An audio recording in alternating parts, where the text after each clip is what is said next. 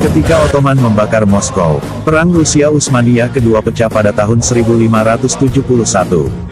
Setelah 120.000 tentara pasukan Tatar Crimea dari tentara Ottoman, yang dipimpin oleh Han Daulat Kerai, menyerbu Moskow pada bulan Mei tahun yang sama dan membakarnya dengan apa yang disebut Moscow Fire. Dengan tujuan memulihkan kota Astrahan dari Rusia. Kebakaran ini dianggap sebagai salah satu kebakaran terbesar dalam sejarah kota. Karena orang-orang melarikan diri ke gereja batu untuk menghindari api, tetapi api itu runtuh di atas kepala mereka.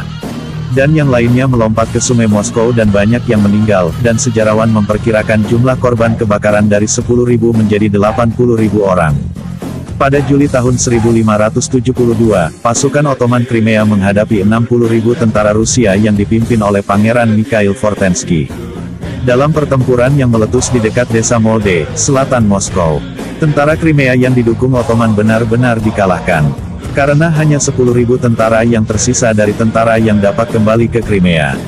Yang menyebabkan Kekaisaran Ottoman dan Hanate Crimea meninggalkan rencana ambisius mereka untuk memperluas utara ke Rusia.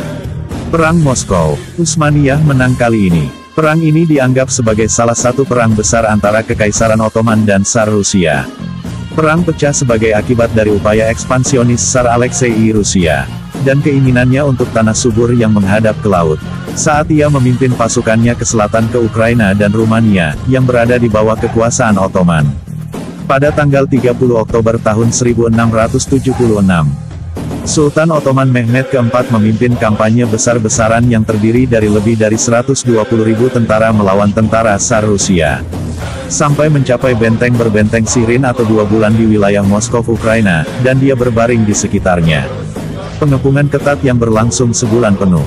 Tentara Utsmaniyah melawan tentara Rusia di wilayah Moskow, dan meskipun ada sekitar 200.000 tentara Rusia yang mempertahankan daerah itu. Utsmaniyah menang dan benteng itu jatuh. Sekitar 20.000 tentara Rusia tewas, dan Utsmaniyah menguasai sebagian besar Ukraina.